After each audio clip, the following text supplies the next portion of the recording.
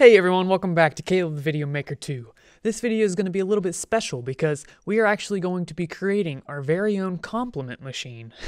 this video is dedicated to those looking for love. Well, don't worry about other people. Psh.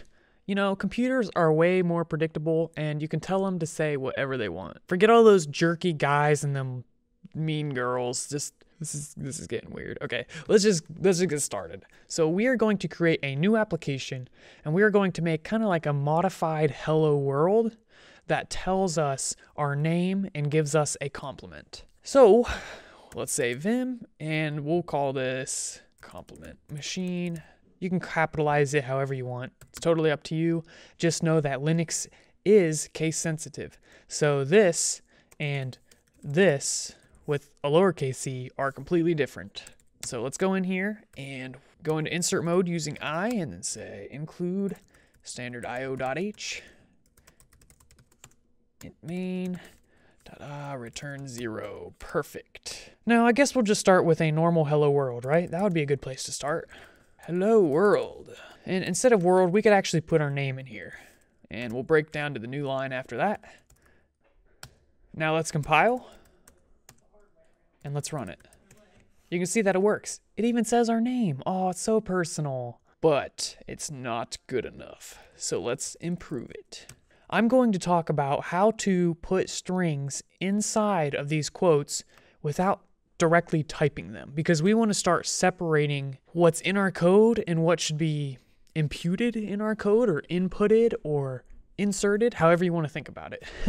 so, sort of how when we started with numbers, we would get numbers from the user and then output them to the screen. Well, we want to do the same thing here. So, to start, I want to teach you a new format or conversion character. And that conversion character is actually percent %s, and that is for string. So, what is a string? A string, it's a sequence of characters where a character is just anything you can type on the keyboard or like a new line, tab, and all that good stuff. So each one of these is a character. A space is a character. A period is a character. A string is when you put all of those in a sequence using quotes like this. Hello. You can see here we're actually passing in a string to the printf function, and that is called our format string. Well, what I want to actually do is pass in another string into this string into the percent %s location. So we need to pass in another argument. So let me get rid of this junk and we'll go in here, add a comma, and now we need to add something into this function. So what do we want to add? Well, let's just make it work just like it was by passing in our name. And also we will put the exclamation mark right here. So take a good look at that, make sure you understand it, see how it works, and then we will run it and make sure it works just like we were hoping. You can see that it works exactly the same and make sure you recompile it so we're actually getting new results. This app is pretty cool so far, but I want to take it a step farther and actually ask the user for their name and then output it. So let's go back into our code. And now this might be new to you, but just look at the syntax and familiarize yourself with it, and it'll start to make some sense. We need to create something called an array and we will discuss arrays in a lot of detail in the future. But essentially, since a string is just a sequence of characters, you can see here just each one of these is a character, we could put each one of these in what's known as a character array. So to do that, let's go into main, go to a new line, and we are going to say char name, which is the variable name. You can name it whatever you want. You can name it Taco Bell, you can name it McDonald's. You can name it spaghetti. You can name it corduroy pillows, which, by the way, there's a new one out and it's making headlines. Basically, you can make it whatever you want. We're going to go with name because that's what it's going to store. The next thing you do is put square brackets. Inside of those square brackets, we are going to say how many characters are allowed. So my name's Caleb. It takes up five characters. So what is like the longest name you can think of?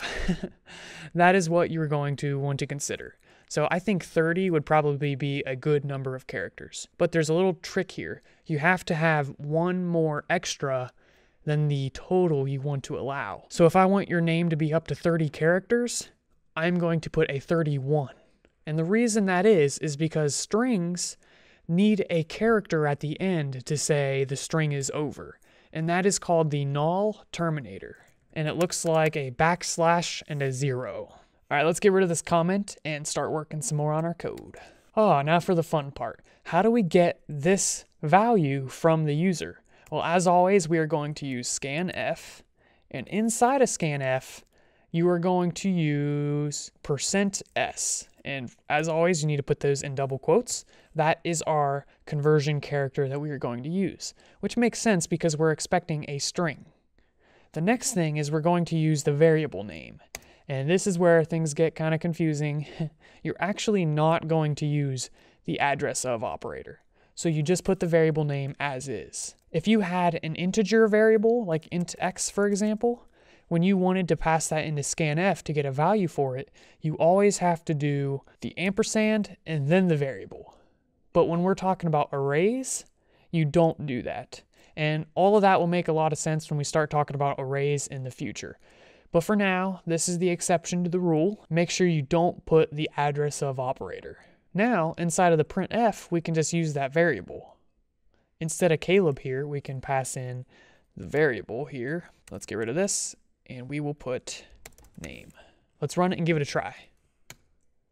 Okay, so it's asking us for a name, but we forgot to put a prompt. So we'll want to do that. But let's put Caleb.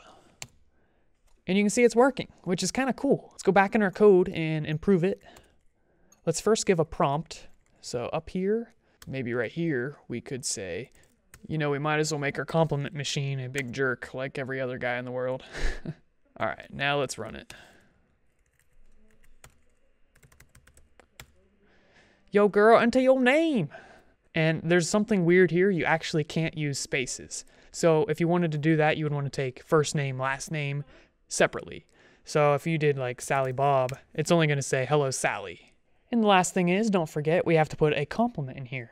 There we go. I think our app is complete. Yo, girl, enter your name. Sally Bob.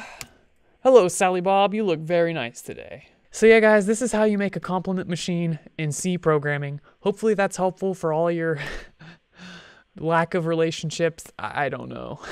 If you've enjoyed this video, please click like. And in the next video, we are going to be talking about using functions in C. And that is so huge, so make sure you check that out, guys. Peace, and I'll see you then.